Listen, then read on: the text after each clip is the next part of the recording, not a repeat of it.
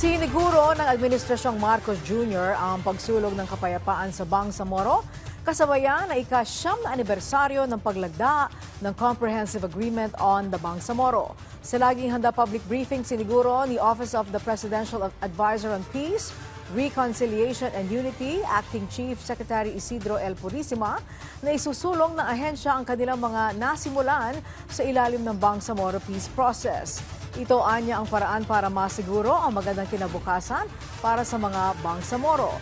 Nakatutok ngayon ang OPAPRU sa political at normalization track gaya ng decommissioning at unification ng Bangsamoro Transition Authority. natatapusin natin yung mga commitments natin doon sa Bangsamoro ay tayo po ay nananawagan na sana magtulong-tulong tayo para may uh, pursige natin yung, ah, at yung progress and prosperity doon sa Bangsamoro natin. At yan po ay isang ah, gagawin po natin dito sa Bangsamoro sa pamamagitan ng ah, pag-continue natin ng mag-decommission, yung mga armas doon sa mga lugar, pag-develop natin ng socio-economic doon sa mga areas natin,